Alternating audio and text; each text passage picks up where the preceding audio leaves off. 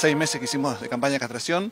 Estuvimos por todos los barrios de Merlo, eh, a lo largo de 68 jornadas de castración, castramos 2.839 animales y vacunamos más de 6.000 animales.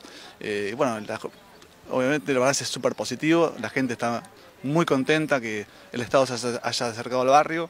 Eh, todas las zonas carenciadas periféricas, muy necesitadas. Bueno, y eh, obviamente el servicio es, gratuito y bueno, la gente está súper agradecida. Durante el verano, eh, enero, febrero y principio de marzo, se va a castrar en el centro de zoonosis, se van a dar 120 turnos semanales.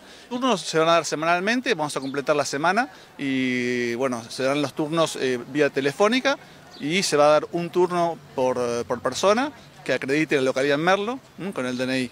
Principalmente la castración evita la reproducción, punto número uno, y con eso el control poblacional. y cabe recordar que es tanto más importante, tan importante la castración en hembras como en machos, porque la gente tiene mucho prurito en castrar a los machos y es igual de importante que las hembras.